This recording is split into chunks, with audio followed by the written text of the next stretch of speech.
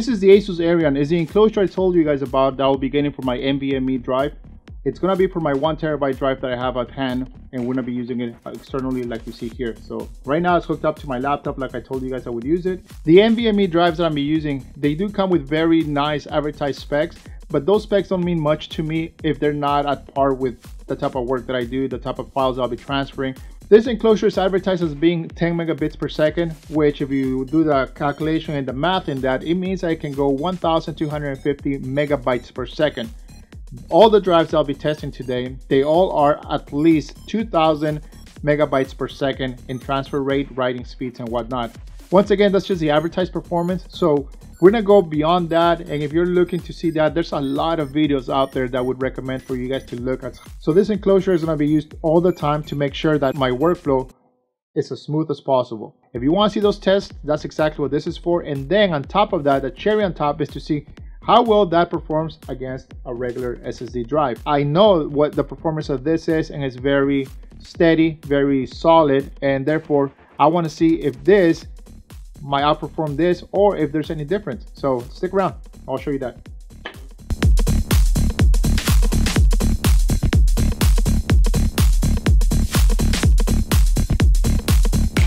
NVMe drives tend to run very hot, so there's going to be some issues here and I know there will be because there's no other reason why this enclosure costs almost $50 and it's all aluminum.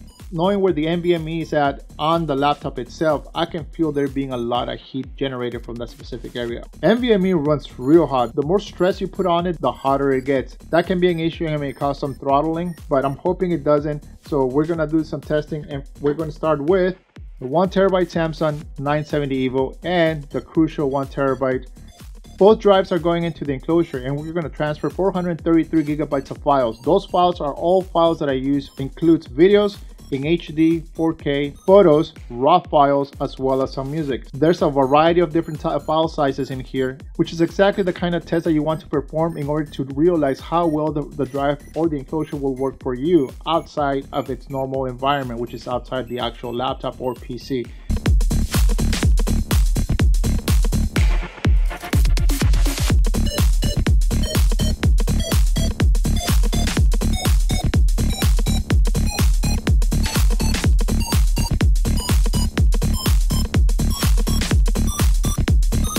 I'm not sure if the drive has a problem with the cache, overheating, or can't handle the amount of data that's being transferred at once to it. This drive outperforms the Crucial drive by quite a bit. The Crucial drive starts out strong at over 650 megabytes per second for the first 130 gigabytes of files.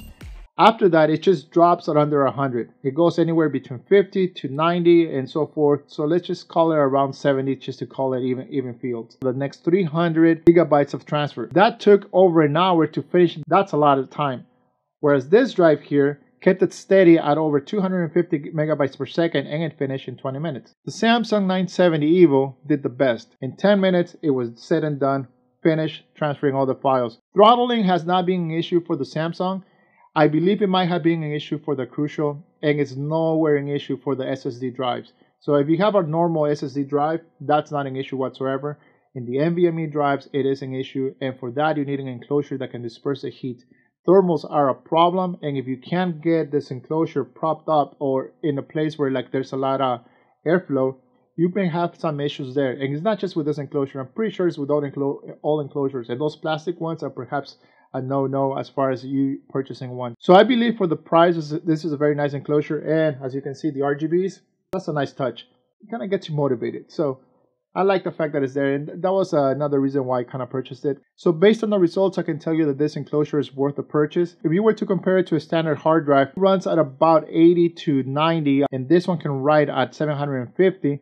That's about a good seven times performance. And if you were to compare this to the SSD, which is right here, that one runs at 250. So that's a three times performance gained. Using this drive as your scratch disk, it takes the load off the drive inside your computer, meaning it disperses the heat and this does not get as hot either. So using both of these drives together as an enclosure outside of your computer is extremely beneficial for thermals both on the enclosure and for your laptop because your laptop does not run as hot as it usually would when I'm using Premiere and the enclosure doesn't get as hot as if it would when I'm actually writing directly 24 7. So if you're writing directly all the time, the enclosure will get hot. But if you're just accessing files here and there, here and there, it will run very minimal heat and it works just perfect. Thus far, it has worked for me and I like it a lot more for that reason. So I do recommend the drive.